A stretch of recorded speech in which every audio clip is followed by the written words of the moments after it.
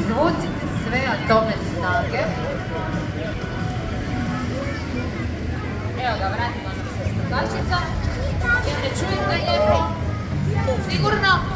Svi me čujete? Ok, znači kad ja prozovem vaš broj, vi morate izaći van. Ok? Znamo sve brojeve na kojim stojimo. Znači 5, 4, navijati za njih, nije im jednostavno. Treba se ovako. Zadržati koncentraciju. Vi telefoni se siđi sada dolje, dok ne završimo.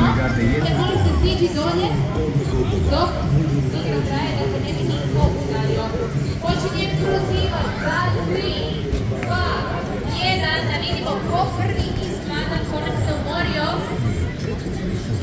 Odlično, malo smo dodali gaza.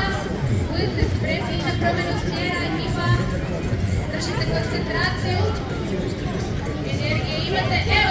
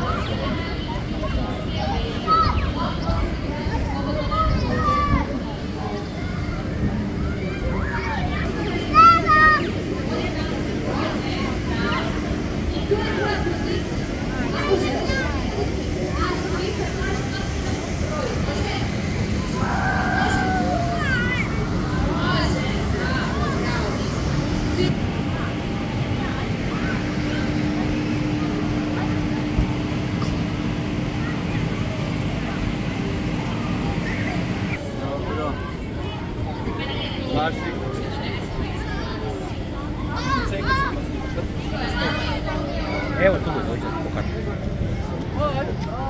dan. O, dobar dan. Odlično to ide, dobro